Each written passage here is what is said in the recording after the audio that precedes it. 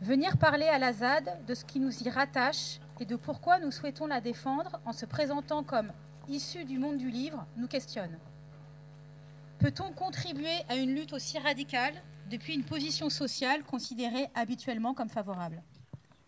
En affichant nos métiers comme des étendards, chercheurs, universitaires, éditeurs, écrivaines, architectes, journalistes, nous mettons en avant la division du travail inégalitaire qui d'habitude gouverne la société.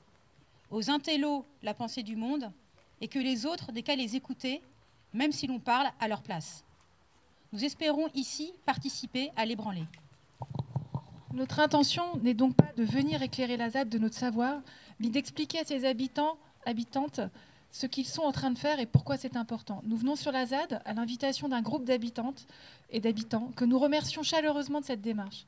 Nous sommes heureux de nous y rendre pour apprendre d'elle, lui témoigner notre soutien, participer au chantier en cours et participer, avec celles que cela intéresserait, les raisons pour lesquelles nous y sommes puissamment attachés et voulons la défendre.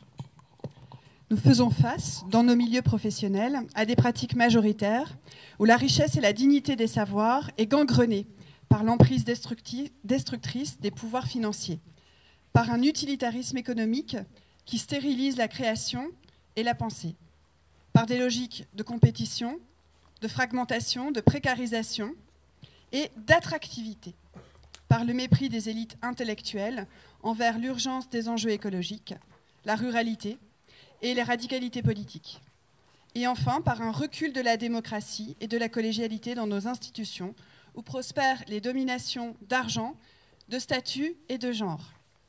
Venir sur la ZAD est donc aussi, nous l'espérons, l'occasion de débattre de nos, privilèges et de la possibilité ou non de leur utilisation stratégique. Il y a un débat à 14h euh, mardi, euh, euh, pardon, dimanche, dimanche justement qui aura lieu au, au pour poser toutes ces questions-là, entre autres.